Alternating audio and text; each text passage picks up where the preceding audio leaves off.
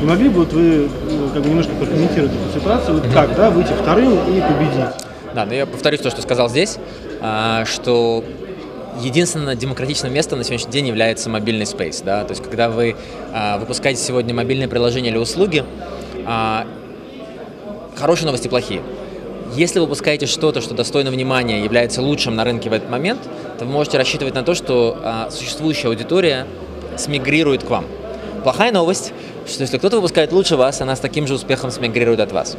Поэтому запускаясь вторым, у вас э, нет никакого другого шанса, кроме как сфокусироваться на качестве продукта, ценообразовании и опять на качестве. А, плюс, что мобильная среда создает также сарафанное радио. Это то, что получилось с нами. Мы создали продукт, который на порядок лучше, чем все, что было доступно и до сегодняшнего дня доступно на рынке. Имея такой продукт, мы даже в какой-то мере хорошо быть вторым, потому что люди для себя открывают индустрию. Люди поняли, что с помощью там, нажатия одной кнопки они могут сэкономить себе кучу времени и за 5 машин, минут получить машину. И у них, наоборот, открывается аппетит, они хотят еще лучше, они хотят сервис, который там будет дешевле, практичнее, удобнее и многое другое. И то, что как раз Get им дал, Get Taxi в прошлом, сейчас Get, это именно это.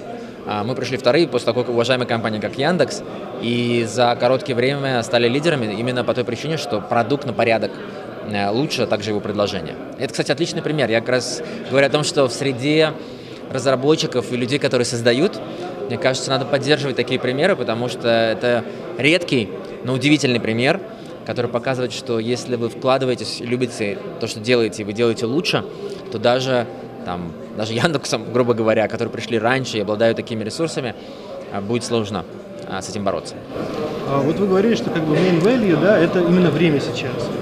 И, в принципе, как бы все идет э, именно мобильный, да, и что человек пользуется мобильным, это все быстрее, быстрее, быстрее. Как вы думаете, вот главная тенденция сейчас рынка, она именно в этом или будет еще что-то? А, однозначно. Самый дорогой актив, который мы все больше и больше чувствуем, он всегда был, но мы его чувствуем все больше и больше, это время.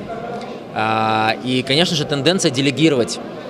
Понимаете, нет никакой ценности э, в вашем конкретном исполнении какой-то конкретной механической работы. Если вы помоете свою квартиру, или помоете свою машину, или вы смените масла в машине, или вам сменит профессионал и так далее, да, если вы будете перемещаться сами за рулем, или вас кто-то отвезет, вы можете купить все, вы можете научиться всему, но вы не можете купить, купить или научиться времени. И, конечно же, сервис или услуги, которые позволяют вам это время а, создать или сэкономить, они несут колоссальную ценность, и поэтому так воспринимаются ярко людьми. Э, там 4 года экономил кучу времени, сэкономил людям, создал э, эффективно решая проблему транспорта, перемещения с точки А в точку Б несколько раз в день для всех. С таким же успехом мы сейчас собираемся решать эту проблему для других важных базовых э, продуктов и сервисов, с которыми мы сталкиваетесь. Будут то ли продукты, э, еда, э, услуги с, э, красоты, либо поддержка дома, уборка дома, и ремонт дома, мастера и так далее, врачи.